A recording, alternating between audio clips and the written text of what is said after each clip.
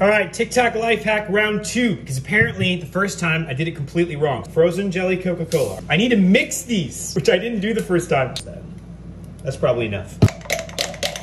We now have our Coca-Cola and corn syrup mixture. I'm gonna dump it in. All right. Ba-boom, ba-bang. We'll check back in exactly four hours. Four hours later. Oh, that looks good. Shout out to my fans for telling me that I did it all wrong. Wait for it.